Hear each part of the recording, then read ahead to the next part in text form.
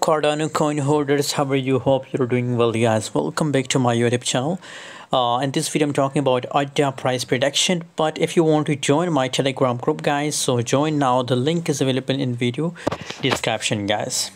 Cardano coin is uh, also crashed from 30 32 us dollar to 0.26 cent.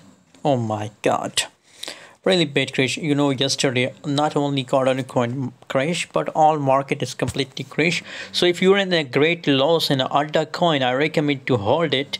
Uh, all market crash for a short time. After short pump uh, short dump again it will pump gas. So if you are in a loss so I recommend to hold. As you can see here the volume is also positive positive 54.54 percent positive.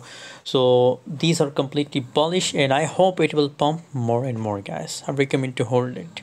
Thanks for watching. See you in next video. I uh, and must join my telegram group guys because on telegram i share the latest signal with all of you guys. Thanks for watching. See you in next video. Don't forget to subscribe for more videos